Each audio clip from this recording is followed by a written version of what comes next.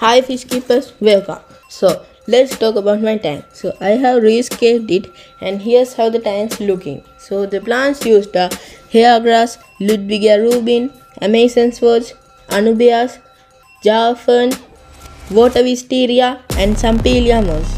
The light is an WRGB custom made light and the fertilizer is Tropica Specialized Nutrition.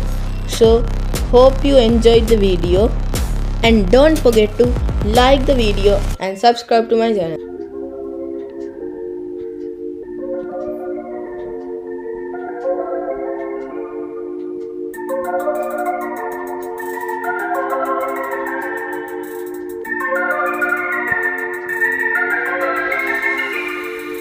I'm gonna shoot